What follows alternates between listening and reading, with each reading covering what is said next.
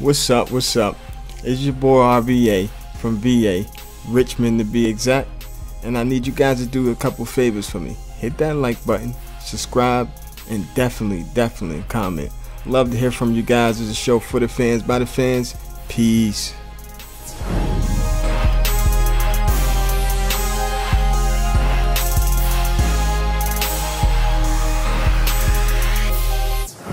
What up, what up?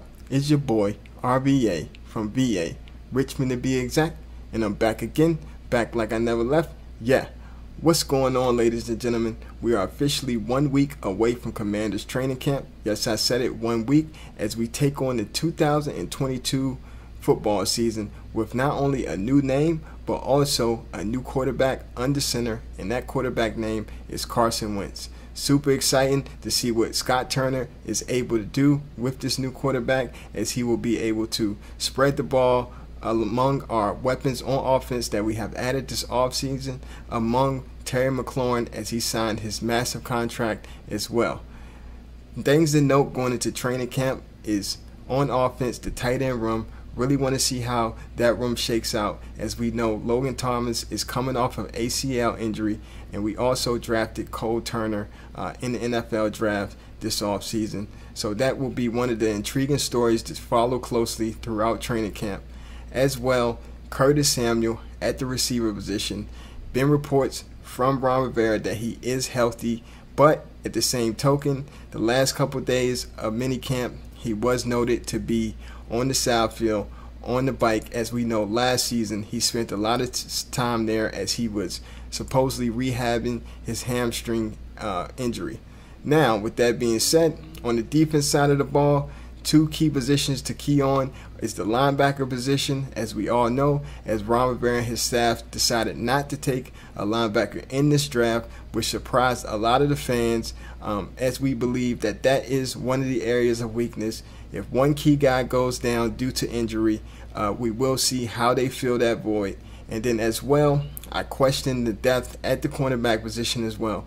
Because after you look at the top guys in that room, then we're looking at guys that we don't know if they will have the ability to step up if need be.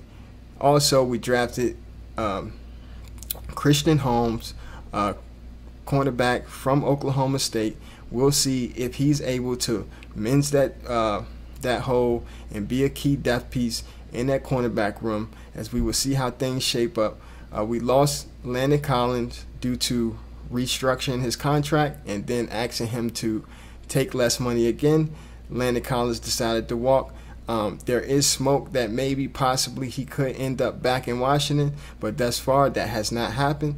Uh, Terry McLaurin, as we know, signed his contract um, and believes that this team is poised to for a postseason run this year as I also believe that to be true, as I believe we now have Carson Wentz under center. Uh, it is going to be very important that Carson Wentz can come out of this training camp healthy. As we know here in Washington, we have had plenty of issues with health at the quarterback position. So hopefully, hopefully we can avoid that this training camp and start the regular season with a healthy roster uh, at all key positions. Now, also, I would like to note that Ron Rivera has seemed to be mentioning his two defensive tackles a lot when speaking of the defensive line. Uh, we know we have Montez Sweat and Chase Young. Chase Young, who is rehabbing from an ACL injury, but he seems to be favoring the two defensive tackles and also Warren Sapp, who spent a couple days with us in minicamp in the OTAs, spoke highly of the two defensive tackles as well. As a thing to note is he said John Allen will be moving around on the defensive line this year, and they also are going to have John Allen coming off of the edge. As we know, John Allen had a Pro Bowl year last year, and I'm excited to see what Jack Del Rio and the defensive line coach decides to do with this defensive line. As last year, I believe one of the issues was them not changing things up and having these guys just stay on their sides of the field and rushing um, and not making impacts. Now, with that being said, I said earlier, injuries is going to be a key point. Um, we don't want to lose any key pieces uh, because I would love to see this roster at full health um, going into the season and, you know, running this schedule and seeing how we fare as I do believe This team is a playoff team, and I believe we have the ability, truly and honestly, to possibly win a game or two in the postseason.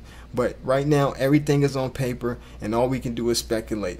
Now, here at Command Respect TV, we will be following training camp in depth with updates to you guys. As you know, this is a show for the fans, by the fans. Um, you guys are most important. Um, I do want to thank you for all of the support thus far as this channel will continue to grow and get better with your support and your hope and your help. Uh, I appreciate all of the feedback and I welcome more feedback. As like I said, here at Command Respect TV, we will continue to grow and also come with all Commander content. Like I said, appreciate you guys. It's your boy RVA from VA, Richmond to be exact. Peace.